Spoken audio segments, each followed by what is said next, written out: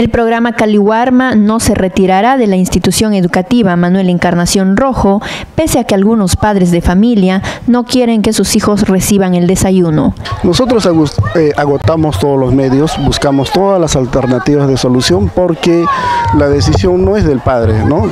Así el padre no quiere el servicio alimentario, pero nosotros recogemos más que todo la opinión del niño cruzamos información con el sector salud, quien nos dará a ciencia cierta pues, los datos sobre eh, desnutrición o anemia o, los índices nutricionales en, el distrito.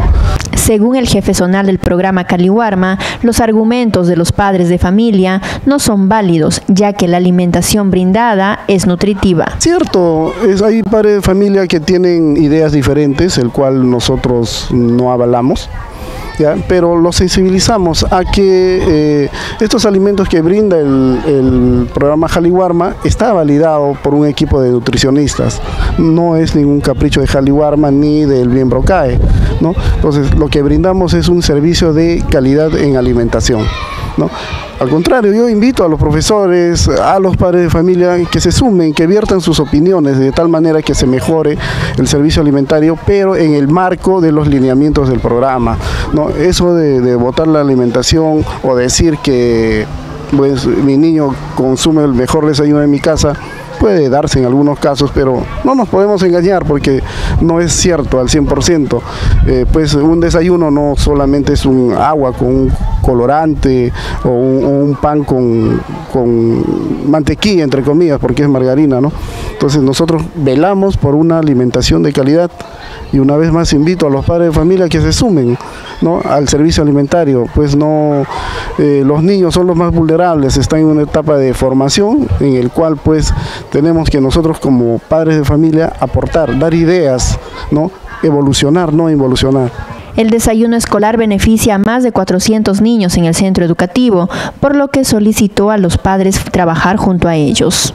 Eh, en la institución donde nos, encontramos actualmente, nosotros atendemos alrededor de 438 alumnos, Está garantizado hasta el último día de, clases. Eh, sí, nosotros como programa eh, hablamos el modelo de cogestión y corresponsabilidad. ¿Qué significa esto? En la cogestión están involucrados, pues, desde nosotros, el programa, el sector educación, el sector salud, y eh, eh, también los padres de familia en especial, ¿no? Y también este, el sector privado, ¿no? Tenemos bonitas experiencias en otras provincias. Y también la corresponsabilidad, pues este, todos nosotros eh, ciudadanos estamos, somos responsables de la buena nutrición de los niños. En ese sentido, nosotros buscamos que para el servicio alimentario se integre el padre de familia, el docente, ¿no? y también este, los otros sectores, ¿no? como lo menciona el sector de salud. Eh, bueno, en estos días se está celebrando el Día de la Alimentación Mundial, también el Día de Lavado de Manos y eh, están participando activamente todas las instituciones. Eh, cabe destacar, yo quisiera invitar también a que todos los padres de familia se sumen a esta gestión del servicio alimentario, ¿no? sin distinción, ¿no? porque los vulnerables son los niños. Asimismo, el representante de Caliwarma dio a conocer cuáles son los beneficios del programa y cuáles son las modalidades de trabajo. Eh, nosotros como programa de alimentación escolar eh, brindamos el servicio alimentario en dos modalidades, que es raciones, que se da sobre todo en la zona eh, urbana, y la modalidad productos en distritos más alejados de la franja costera. En este caso, en el distrito de Nepeña, nosotros brindamos el servicio bajo la modalidad productos. Pues entregamos una canasta, ¿ya? Que, eh, de productos no perecibles, ya que son validados por el Centro Nacional de Alimentación y Nutrición. Y eh, una vez entregados aquí a las instituciones educativas a través de un comité de alimentación escolar, eh, desde la recepción eh, son administrados hasta la entrega final, que es al, al educando, ¿no? de los niveles inicial y primaria. Por su parte, el presidente de la PAFA de la institución educativa Manuel Encarnación Rojo invocó a sus pares a apoyar para continuar con el programa.